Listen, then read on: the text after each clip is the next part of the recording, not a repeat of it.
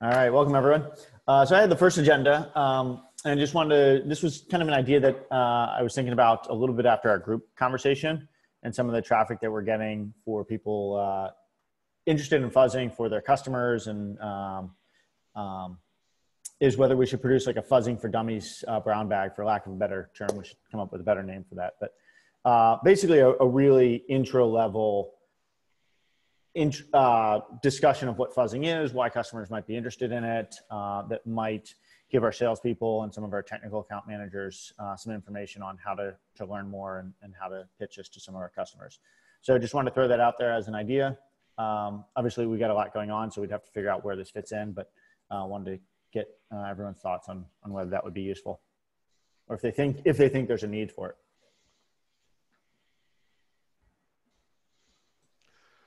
Yeah, I mean, I think education's good. Um, I think I was just discussing with someone this uh, this week about how, you know, the the term for fuzzing has been overloaded a lot, uh, and so it'd probably be really great to produce some content um, to educate that maybe we can then further turn into stuff that's customer facing as we move forward. Uh, since I think we're going to have to explain, you know, the intent of our tools and um, you know the types of fuzzing that we're going to do and how we're communicating that and, and so on. Yeah i agree. I, I like it.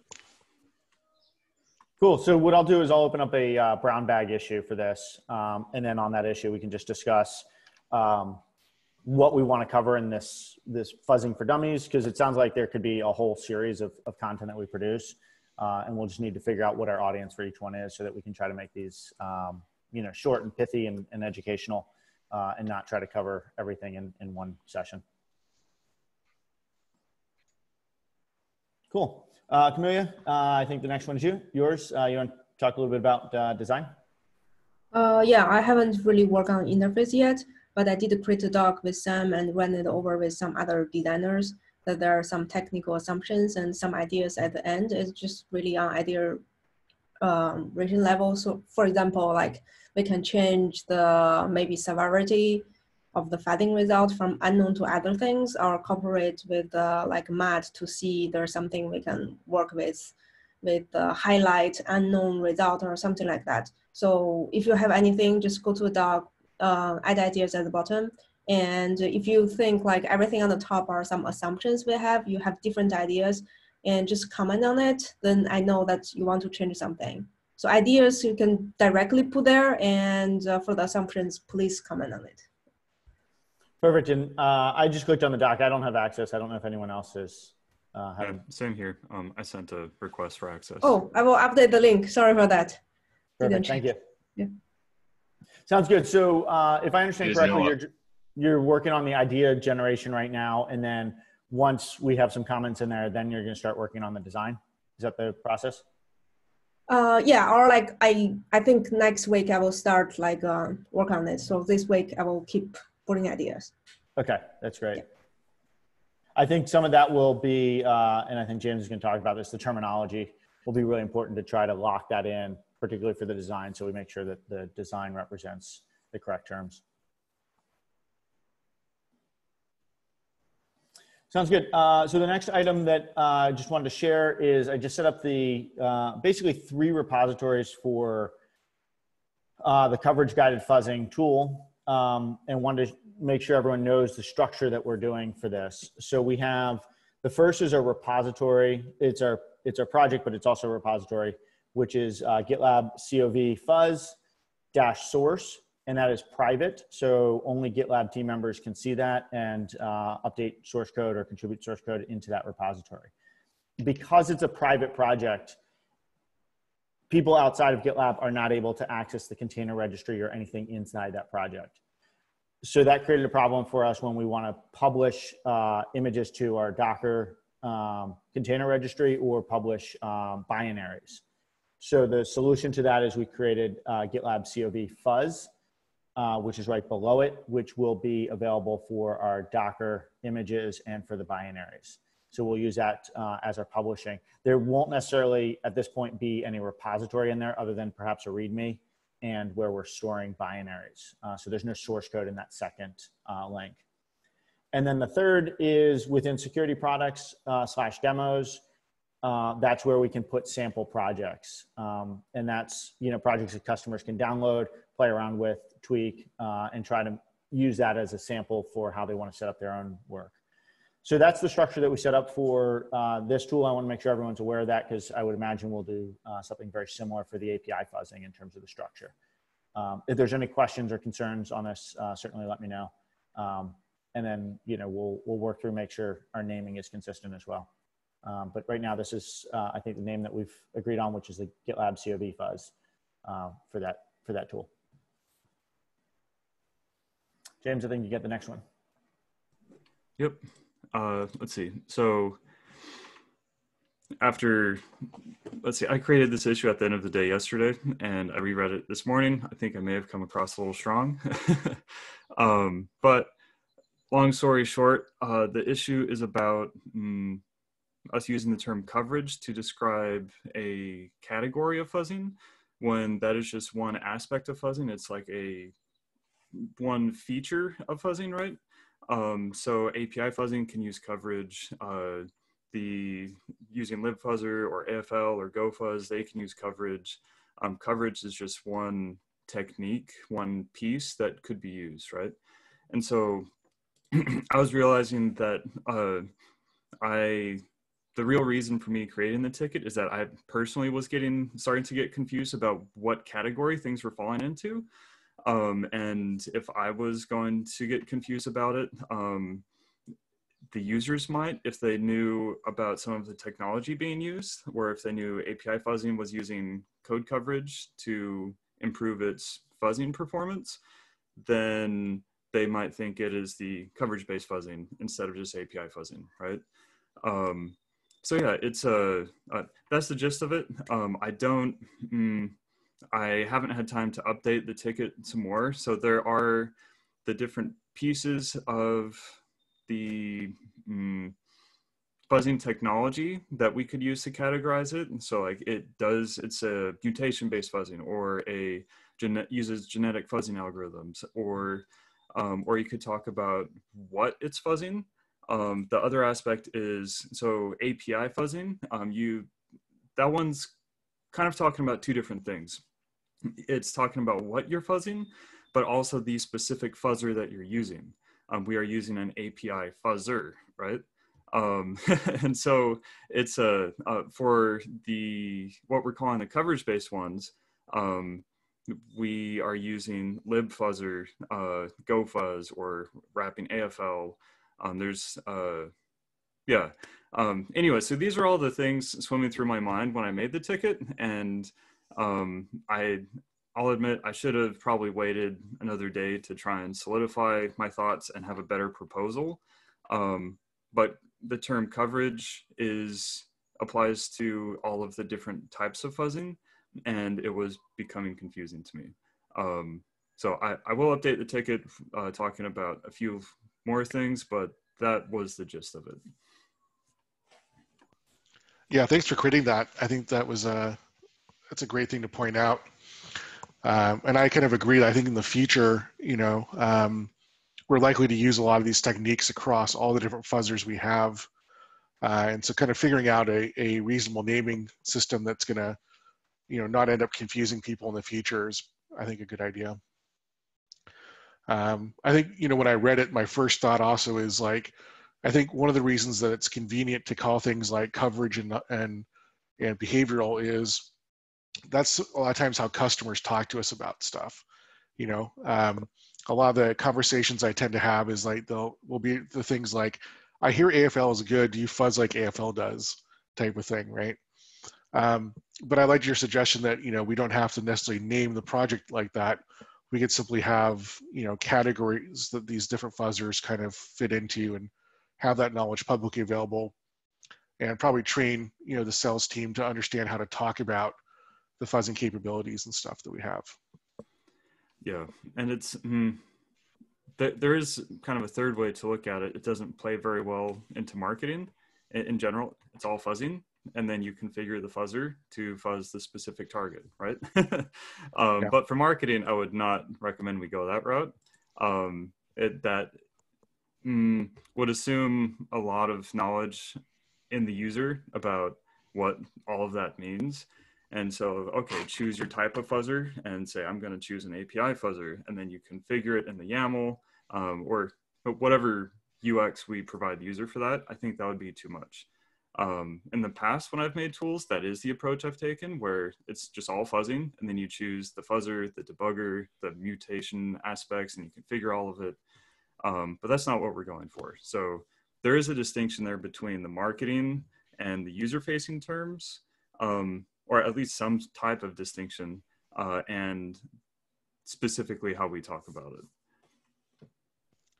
Yeah, yeah I would agree with that. Um, my biggest question, I, I have been reading the issue, uh, was where are we talking about specifically and which names? Because, yeah, to your point, things that are going to be super high level marketing, architecture documents versus low level technical documentation and everywhere in between. I think we can take different levels of granularity depending on the depth, but I, I wasn't quite clear about what this issue is talking about specifically. Gotcha. Um, I 100% see what you're saying on that. I will rephrase the description um, and make it concrete about what I'm talking about. Um, I, I, could say it right now. The the concrete aspect that really got me thinking about it is uh, so been working with Evgeny on the schema and everything, but I've talked to Mike about also using coverage based mm, features in API fuzzing. And potentially in the future, for doing unit test drive stuff, it also uses coverage based stuff. So that's where it all started. Um, and I, I'll boil it down to the concrete things that we are currently using or currently have and talk specifically about those. Um, uh, yeah, so for sure, I think the, the, the naming should be consistent. Uh, I think the only uh, example that uh, I found, uh, like uh, in terms of uh, continuous fuzzing of like cover libfuzzer or AFL is ClusterFuzz. And when you go like in there, maybe I'll send the link. Um, here. So when you go to their like homepage, uh, they call it support for coverage guided fuzzing. And, and I use, I use the same term. So I can't, I mean, I can't say this is an industry standard because there is only one example of it and uh, uh, Fuzzit, right? Uh, but uh, like the, the, this is uh, like I, I, saw people people use it for for li like libfuzzer uh, AFL GoFuzz is like coverage guided fuzzing, and other one are like API fuzzing or behavior fuzzing. Uh, uh, I think it makes sense, but uh, yes, of, of course, like uh, yeah, it can be coverage can be also applied to to other stuff as well. Yeah, well, and I guess there's a third option where we just say we are okay with some overlap in definitions, and we just phrase things correctly to the user and say this is talking about this category, even though they might use the same underlying feature. Um, something like that might work too. So. Well, I think also what we can do here, since we're just getting started, we can see if the naming does introduce confusion or if users understand it. Um, picking a name, you know, if there's a famous Shakespeare quote about it. So if we find it's introducing confusion, maybe we should investigate changing it. But we also, I think whatever we pick, there's going to be uncertainty whether we change it or continue to use the same sorts of terms. Yeah, and and and anyway, I think we'll have to do a lot of education, just like Mike said. You know, people are not aware. Like just asking, yeah, is is this AFL? I heard about AFL. Uh, like we'll have to make education about like what, what fuzzing is, what tools are, are available, when to use which tool. Uh, anyway, so we'll have to make uh, also education about uh, what terms we use and I tell them that this is, uh, those are the correct terms. I think where the technical accuracy is really important is things like our CLI, if we're calling it COV fuzz, and we start using other fuzzing technologies in there uh, I think that's where we really need to make sure that the adjectives we're using are, are correct. Uh, I think at a marketing sometimes we can have higher level buckets that, you know, there's a little bit crossover and they don't quite clearly line up with the technical, but definitely when we start getting into the implementation, uh, I think we've got to make sure that it's, it's accurate there.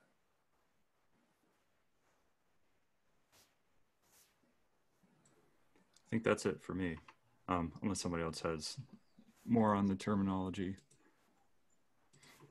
Uh, one question I had is uh, terms like continuous fuzzing. Um, Sam, I don't know if there's any particular terms that we're looking to kind of own, if you will, as GitLab. Uh, continuous fuzzing is doesn't look like there's a single owner of that right now. I don't know if that's something that GitLab is going after or whether there's other permutations of that type of um, Yeah. Marketing term speak, so to speak, um, that we're trying to to really make sure GitLab becomes well known for.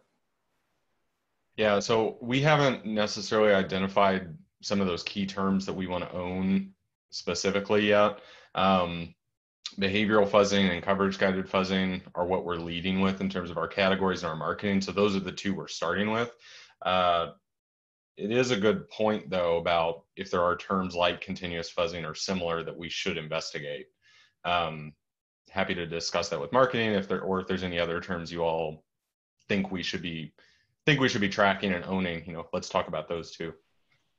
Oh, yeah, I think in terms of uh, marketing, it might it might be it might be useful to, to consider continuous fuzzing uh, as as a term at least from like as uh, SEO perspective.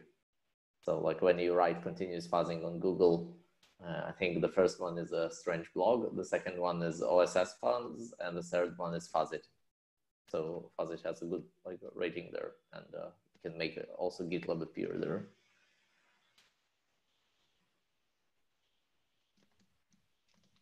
At least this is the, uh, it's the results on, on my end.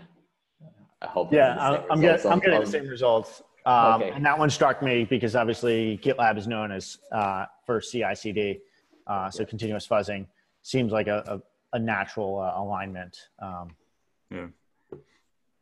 I like that term too. all right. Um, the next item I had was just the JSON uh, uh, fuzzing report. So there's an MR that's opened up on the schema.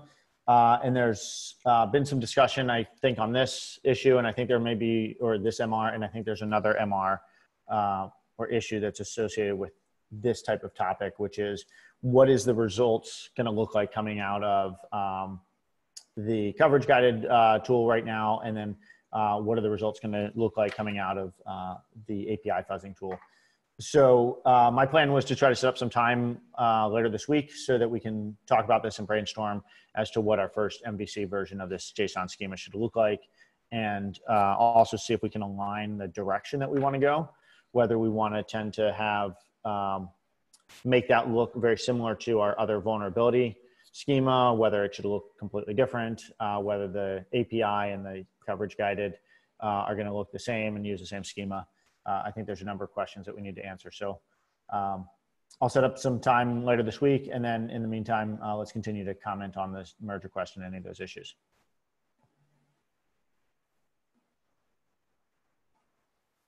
And then uh, Evgeny, I think you've got uh, number six. Uh, uh, yeah, just just uh, just an update. So uh, I'm working on the um, I'm also working on the merge request uh, of adding support for like for this new type of report in GitLab CI uh, YAML, which is the coverage fuzzing report, uh, as well as the par- parsers, the coverage fuzzing parsers, which uh, essentially is uh, inheriting from a common security parser in the, Rails backend. So this is uh, this is a week report. Uh, we can feel free to to comment on it, but uh, it's still not ready. I'm still uh, playing with it and uh, trying to make it work with with the uh, yeah, GitLab CovFuzz. So uh, GitLab CovFuzz will output the correct uh, report, and then uh, I'll check that uh, the the backend parses this report correctly.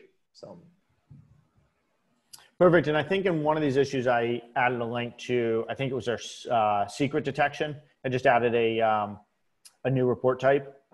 Um, I don't know if you saw that merge request from secret detection. Uh, it should Yeah, I be very similar in terms of the code that needs to get written Yeah. for this. Yeah, I, th- I think uh, I saw it. Yeah. Okay, perfect. Um, excellent.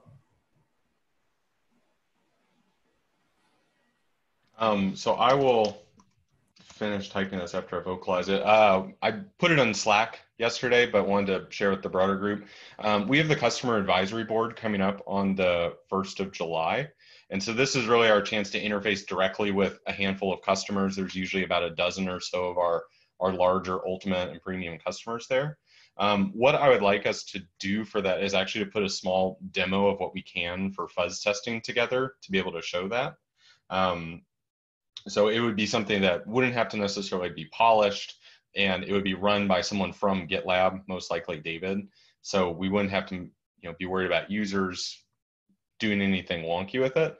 Uh, but yeah, I, I just wanted to talk about that. I think if Seth, the link you put there for the demo project, that looks like a great place to to use that and show it to people. And then Evgeny, I was thinking the demo you've shown us a number of times is probably a great piece of content to show so we don't actually have to build anything new for it.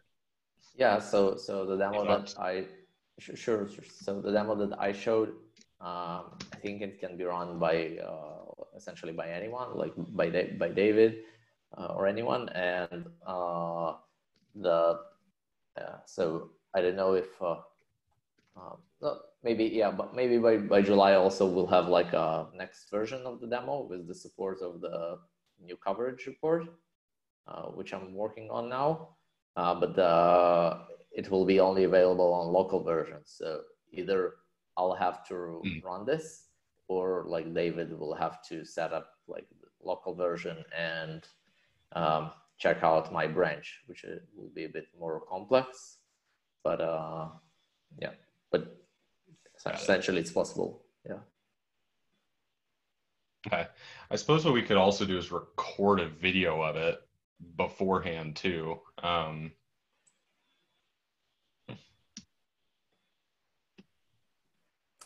yeah, I mean, certainly for our uh, 13.2 release, uh, we'll have a, I'd like to get a demo of uh, all the functionality that goes through the documentation, shows the setup. Um, so that'll certainly be there. I don't know whether for July 1 we'll have that ready to go. Um, we'll have to hmm. kind of see how things go the next week or two.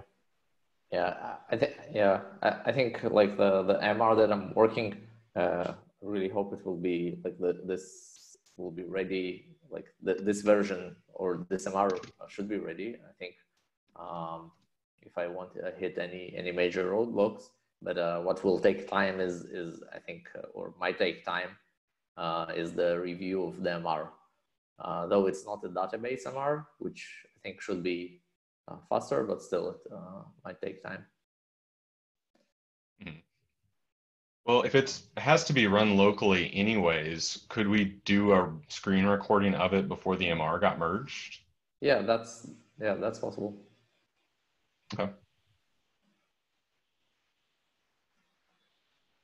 Cool. So yeah, I just wanted to bring that up with this group and we'll keep talking about it uh, leading up to the cab here in a few weeks. And is that uh, cab kind of a showcase of things that we're working on, or is it, um, you know, a little bit of a showcase and then get feedback from the customers? Uh, a little of both. So generally, the way that it's approached is there's an overall company update in terms of general product strategy. Then there's a specific area that gets highlighted each time the group meets. This time it's security. Um, and so we'll go through the presentations, go through a demo of what we're working on, and then it's open for feedback, but that feedback can be about anything. So it's either on the demos or on any of the general company stuff as well.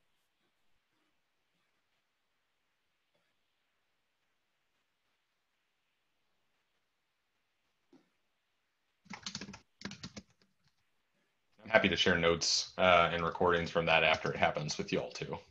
Yeah, that'd be great.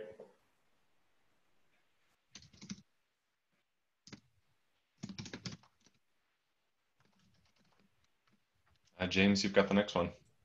Uh, yeah, it's related to our work on fuzzing. Um, I am putting together two different brown bags. I didn't finish typing up the second one um, on copy paste this. Uh, one of them on dog fooding, uh, fuzzing with GitLab, the product. And so the GitLab runner one should, the goal is to set things up so that when the MVC that Evgeny is working on is ready, uh, we should be able to use that directly with GitLab Runner. Um, so doing research into getting that going, um, and then fuzzing GitLab CI.yaml. Um, it's a different use case, uh, but working through specifics of fuzzing things within a major project um, would be good to show people. I may add a third item of dog fooding, um, but I don't know if I'll get to it. And this other one is about oof, uh, unit test derived coverage based fuzzing with Python, Ruby, and Go. That's an extension of the PyTest Auto Explorer work that I did. Um, but cleaning things up and making it work on Python, Ruby, and Go. Uh, I haven't scheduled them yet. The first one, um, I am thinking I'll schedule it for next week, and this one either end of next week or the week after that. Um, yeah. Anyways, figured I'd let you guys know. Uh, yeah, I will definitely drop a message in the channel of once they're scheduled. Oh, and they are recorded too. So yeah. James, is the first one you're talking about with the runner and the YAML file. Is that are you fuzzing the implementation of the runner and the implementation of the YAML parser, or did you mean you're using you're running the runner to fuzz the YAML parser? Oh, no, it's fuzzing sense. GitLab runner itself, and then the YAML okay, is cool. fuzzing the YAML parser itself. Okay, I got it. So it's like two separate fuzzing two separate ones targets, yeah. not using one to fuzz it. Okay. Uh, exactly. Yeah. So it would be it's a collection of dog fooding instances. Yeah. um, Got it. With maybe okay. a third one.